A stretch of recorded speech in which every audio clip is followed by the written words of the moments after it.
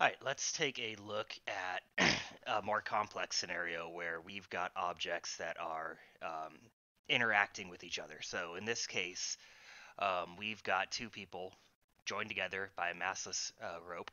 We've got Mary, we've got Don. And so Mary, she's got a mass of 50. Don's got a mass of 70. They're tied together. Um, Don steps off a cliff. Mary's standing on frictionless horizontal sheet of ice. And assuming that the tree limb is frictionless, so meaning assuming that this acts like an actual pulley, we want to determine the tension in the rope and the accelerations of the two. And then we want to know what would happen if she cut the rope. All right, so again, we've got two objects now one traveling in the horizontal, one traveling in the vertical, right? And they're moving as a system. So, if we want to solve this problem, first thing you always want to do is, again, let's get a free body diagram going. So, let's start with Mary. Mary's got 50 kilogram mass. There's a normal force acting on her. She has weight. That weight we're going to call mass Mary times the acceleration due to gravity. It's frictionless, right? So we don't have to worry about friction going that way. And there's a tension force in the rope. Now Don, on the other hand, mass is at 70 kilograms. He's got weight, so we'll call that mass Don times acceleration due to gravity. And there's a tension force. And we know he's moving downwards. Now, notice I didn't subscript our tension forces here. The reason I didn't subscript them is because they share the same tension force, right? If you have that rope of negligible mass connecting these two objects and it's taut, then that tension force is the same acting on Don and on Mary. The other thing that's going to be the same is that acceleration, right? Because, again, the rope is taut, they're acting as um, two objects in a single system. Now, if we want to figure out our tension forces and our acceleration, good place to always start with these problems is let's set up a net force equation for each one of these. So net force acting on Mary is equal to Mary's mass times her acceleration right? And the net force acting on Don is equal to Don's mass times acceleration. All right, so always start with just a basic um, statement of Newton's second law for each object. And then you can work them out simultaneously until you can find a bridge between the two. So for Don, we've got mass of Don times g minus tension equals mass of Don times A. Now, you'll notice here that I'm making downwards my positive direction. And the reason I'm doing that is just rule of thumb.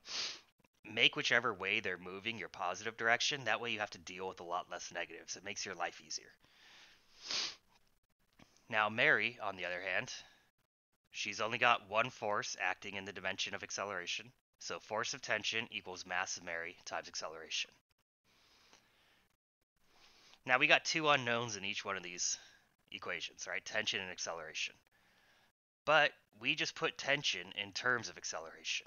So we can go ahead and take mass of Mary times A and plug it in here for tension. So mass of Don times G minus mass of Mary times A is equal to mass of Don times A. Well, let's get all of our unknown value on the same side. So mass of Don times G is equal to mass of Don A plus mass of Mary times acceleration. So mass of Don times G is equal to acceleration times mass of Don plus mass of Mary. So our acceleration is equal to mass of Don times G over the combined masses of the two. Now, what you'll notice as we get into more complex problems, I'm typically going to wait to sub in my uh, values until the very last second.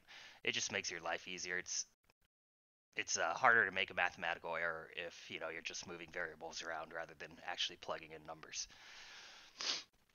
So now let's plug everything in. So our acceleration is equal to 70 kilograms times 9.8 meters per second squared over 70 kilograms plus 50 kilograms.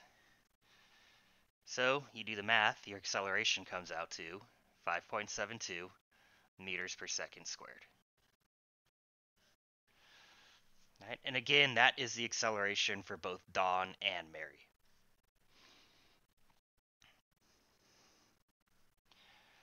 All right, now that we have our acceleration, we can come back up here and solve out for our tension force. Because again, that tension force is shared between Don and Mary. So five or 50 kilograms times 5.72 meters per second squared. And we get a tension force of 285.8 newtons.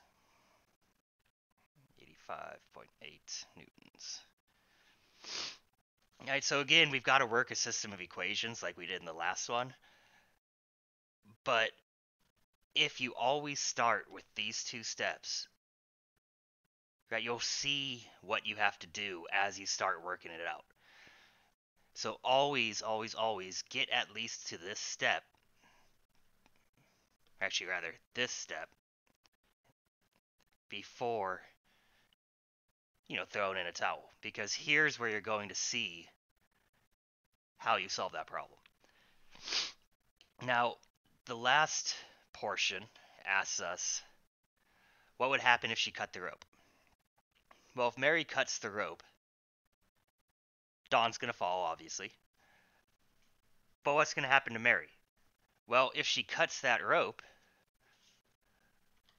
well, yes, that tension force here is now gone, right? Meaning that she'll no longer be accelerating, but she's still going to end up sliding off the cliff, right? Because once she cuts that that rope, tension force disappears, acceleration drops to zero. But since there's no frictional force, she'll continue to move at whatever speed she was going when she cut the rope, and so will eventually reach the cliff. She's just not speeding up towards it. She'll travel towards it with a constant velocity. So she doesn't save herself by killing off Don, basically. Um, now, tomorrow I'll upload a video on um, how to deal with forces on an inclined plane. Um, but yeah, yeah, hopefully that helped clear up um, that box question on the last daily problem. Um, understanding that tension between your two objects are identical. Um, but yeah, see you in the live engagement.